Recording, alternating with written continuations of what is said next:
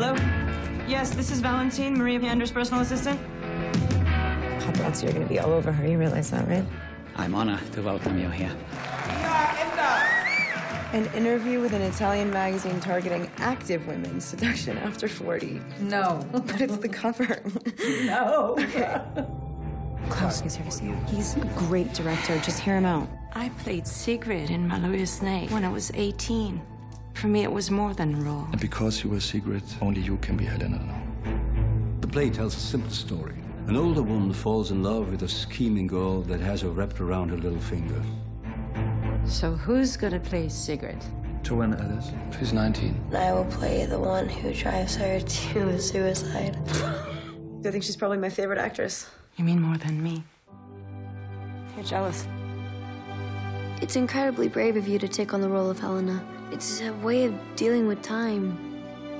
I don't think it's company figures that are keeping you up at night. It's keeping me up then. Desire. For me, I think.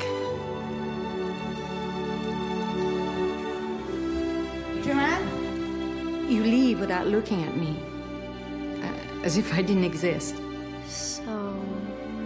So what? I don't know why I have to inflict this on myself. Did sign a contract. Pulling out will cost you. Figure something out.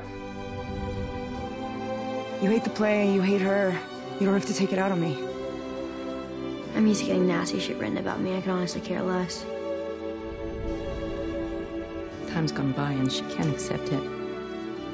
Me neither, I guess.